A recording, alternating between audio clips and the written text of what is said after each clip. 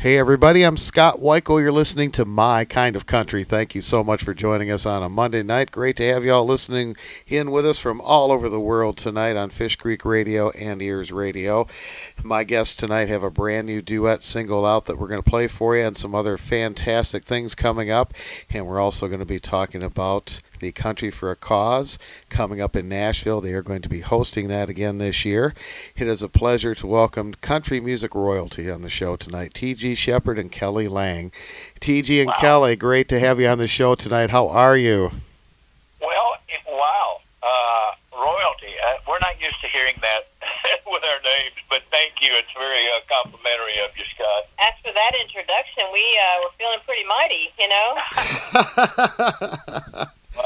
Always, always good to get a chance to visit with you. I've told you before, you, you're one of the best at one of one of the best at what you do, and we're big fans of yours too. Well, thank you so much. It's always a pleasure to have you guys on the show. I look forward every time I get a call that uh, you guys have something coming out and we get to talk about it. I'm excited. So, well, before we get into the new single and uh, your new music, uh, let's talk about the Country for a Cause coming up. Uh, it's Wednesday, June 5th, 6:30 p.m.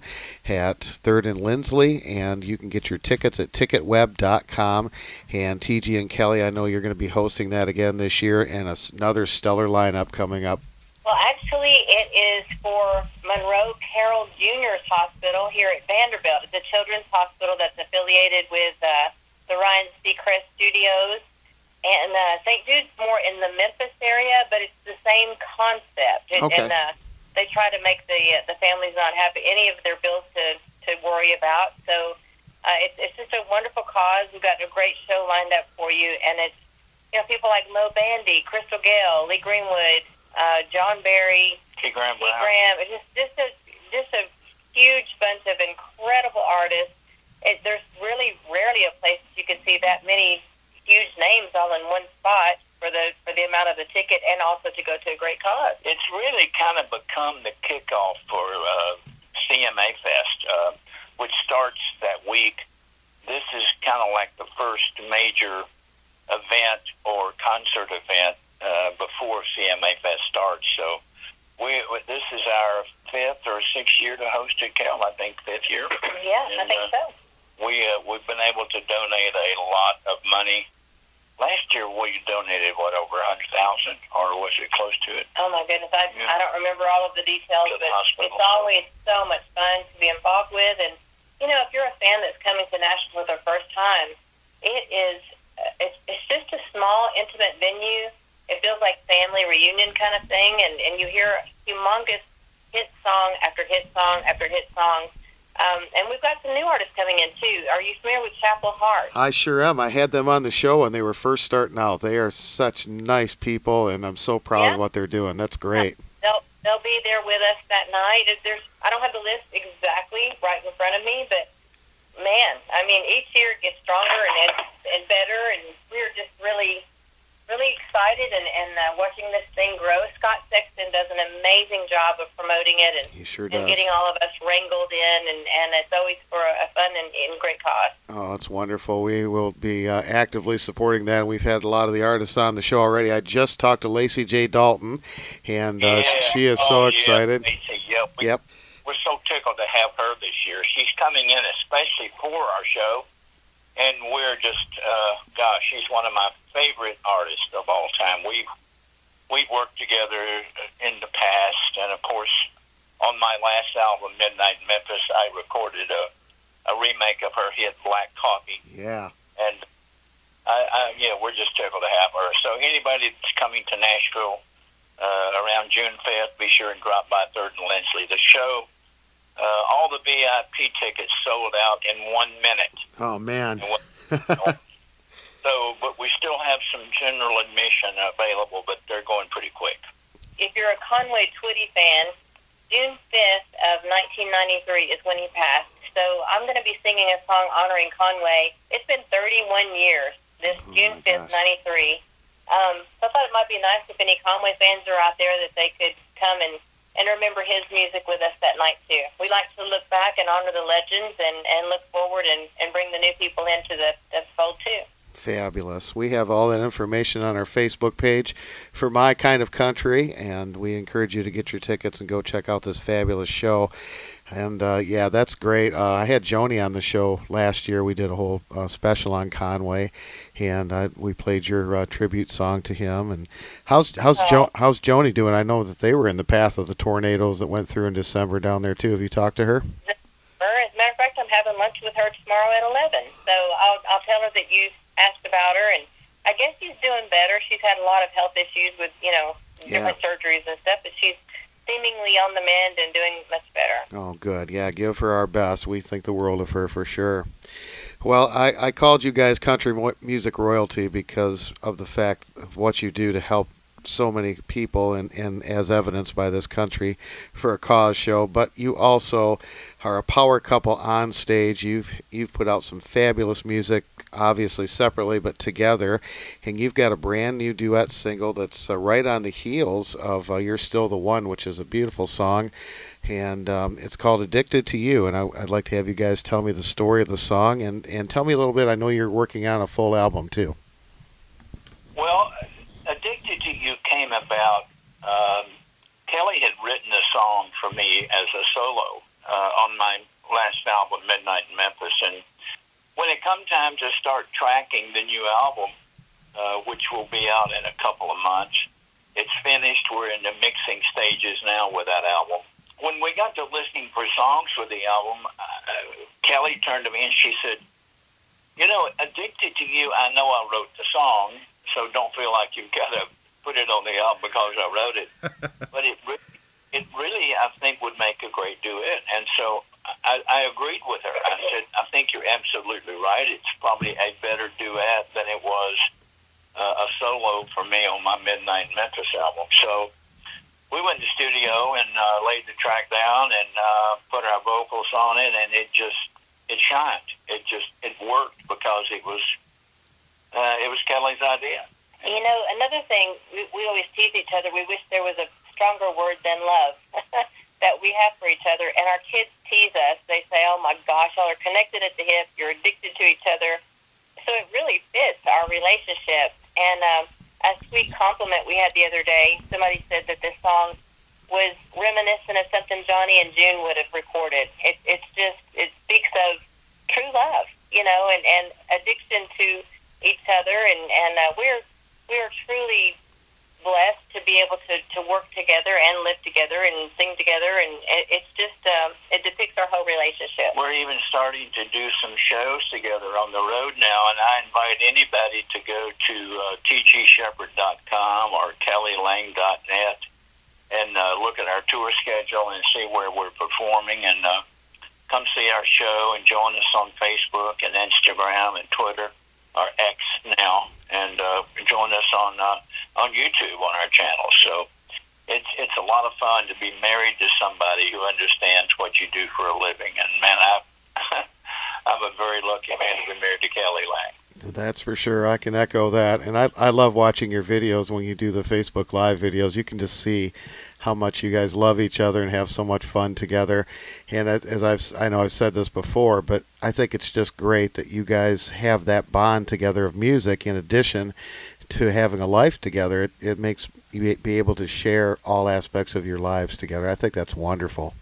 Well, it has its uh, pluses and minuses. For example, if Kelly is writing a new song and she nudges me at four o'clock in the morning saying, "Hey, honey, listen to this," Uh, I mean, I'll be sound asleep and wake up and hear her writing a song. And every time she does that, it winds up being my one of my favorite songs of hers. And she is just a. I'm very lucky to wake up next to her every day or in the middle of the night when she's writing songs. Well, Kelly, your uh, latest album, uh, Dragonfly, is absolutely beautiful. We've done a feature on that, and uh, as TG mentioned, that's available at kellylang.net. And uh, TG, your latest album, Midnight in Memphis, is available at tgsheppard.com. And uh, you also just uh, had a milestone with uh, Slow Burn, 40th anniversary of the number one song for that. Hard to believe it's been that long. I don't know where the time goes, Scott. I really, and truly, I said, uh, you know, I I walk on stage every day and I sing that song. It's still one of my favorites. And Out into the crowd and I see people in their 20s that weren't born yet when this was a number one song singing those lyrics with me, and it just freaks me out. It's it's just one of those magical songs that I don't know. It's just one of those songs that, that was written on Monday, recorded on Tuesday, released on Wednesday, and goes number one on Thursday. it, was, it was a fast song, but I can't believe it's been 40 years since it was number one. But wow, uh, still one of my favorite songs, produced by Jim Ed Norman, who was producing the Eagles at the time, and so I've always surrounded myself with people that know more about the music business than I do, and that's any success I've had is based on being able to surround myself with talented people. Amen to that. I can agree with that. Well, TG, I'm gonna I'm gonna take you back even a little further. I, I want, wanted to ask you about this for a while. You know, my buddy H.D. Ainsworth has his show down in Minden, Louisiana. Yeah. And Okay. um, for the longest time, he was looking for a copy of you singing the uh, the old Motown song "I Can't Help Myself." And he called me. This has been a while back, but he called me. He's like, "Can you help me?" And I'm like, "Well, of course. I have the album sitting right in front of me." And Oh, uh, so I wanted to ask you about that that beautiful album. It's on Melodyland, which I believe is a is a subsidiary of Motown Records. How did you come to be on that label, and how did you choose to to do that song? Well, I've always loved that song. Even as a kid, I had the album, the original album. I, I, when it come time to do that album, uh, I just thought about that song, and I thought, well, I've always loved this song. I know it's not a country song or a country record, or, but I just felt it was a, a great song, and so uh, therefore it wound up on the album. But I'm glad that you found that for him. That's that's still one of my favorite songs that I've ever recorded, and of course it, it goes back. That goes back a long way. That's a long way back. that was the first album or second album. Yeah, I believe so. 1975, I think it was. Yeah. How did you end up on on Motown? Well, I- I was pushing my song "Devil in the Bottle" to every major label, and I was in a major label's office in Nashville, and I was playing the song for them, hoping to get signed as an artist. And they turned me down. And as I walked out of the door of their offices, a guy said, uh, "You got a minute?" And I said, "Sure." He said, uh, "Would you come in my office, which was next door?" And he said, "I just heard you play a song to someone next door. I heard it through the wall, and I think it's a monster hit. Are you are you looking for a deal?" And I said, "Yeah, I am." He said, "Well, Berry Gordy at Motown is starting Melodyland, which is going to be a country subsidiary of Motown.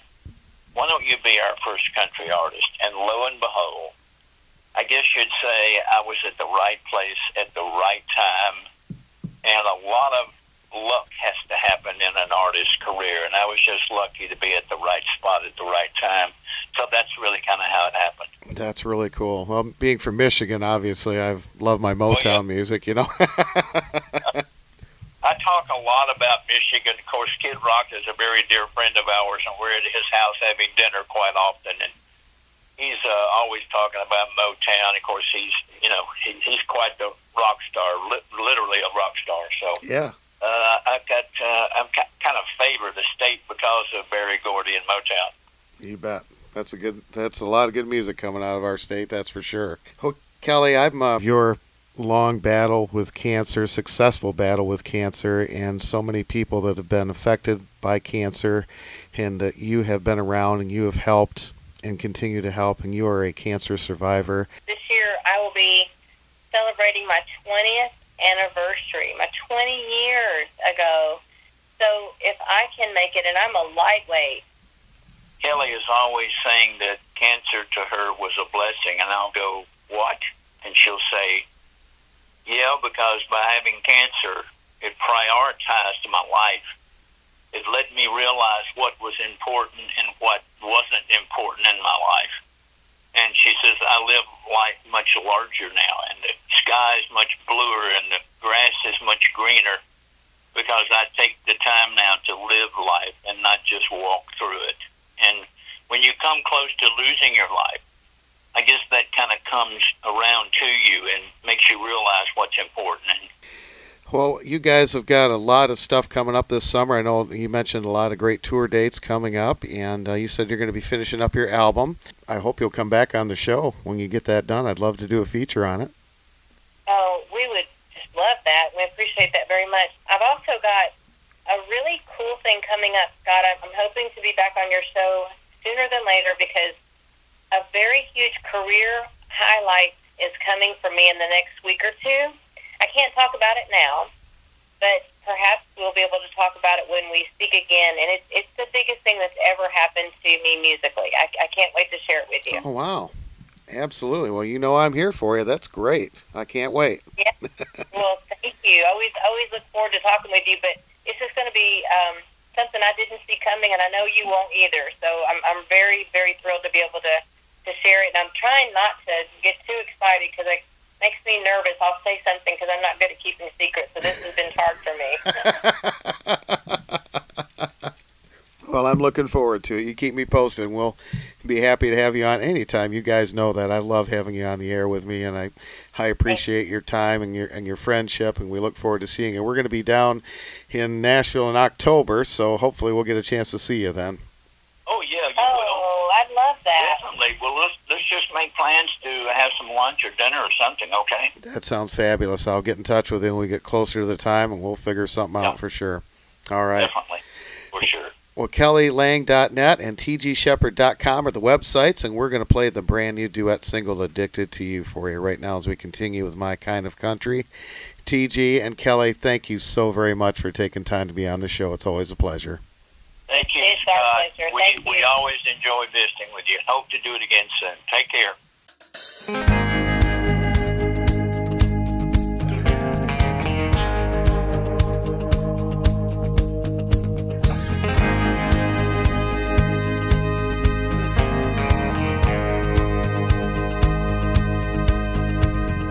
Beer was never my thing.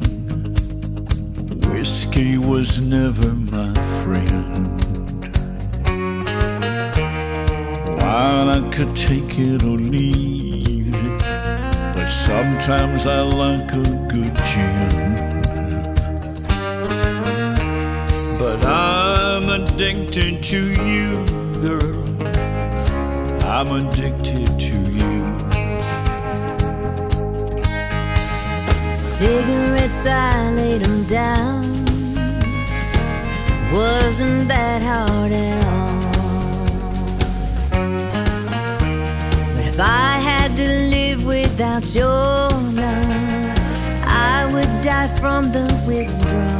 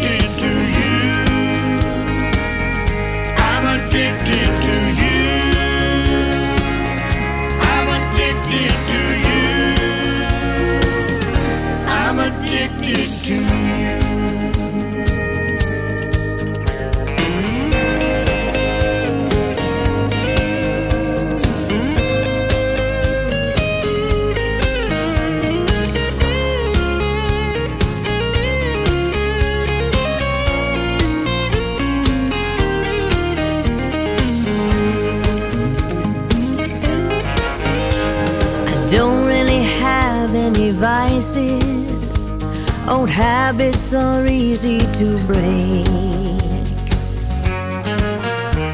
But when it comes to your love, girl, it's a drug that I cannot shake. i I'm addicted to you, girl.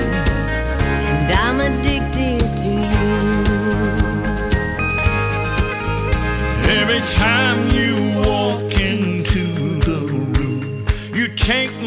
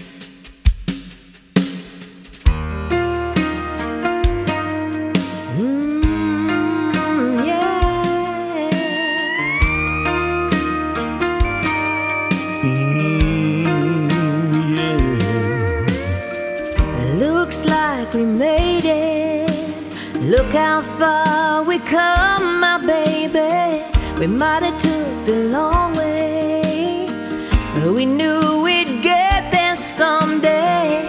They said, I bet they'll never make it. But just look at us holding on.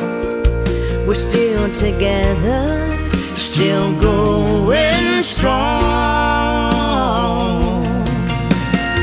You're still the one I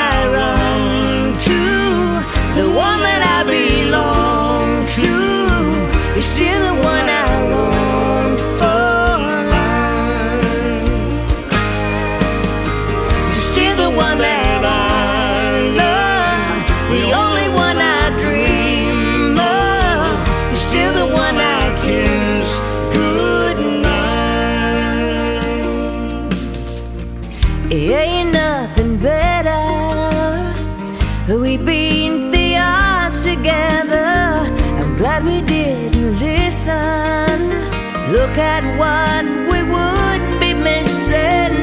They said, I bet they'll never make it.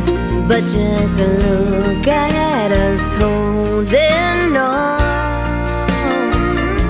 We're still together, still going strong. You're still the one I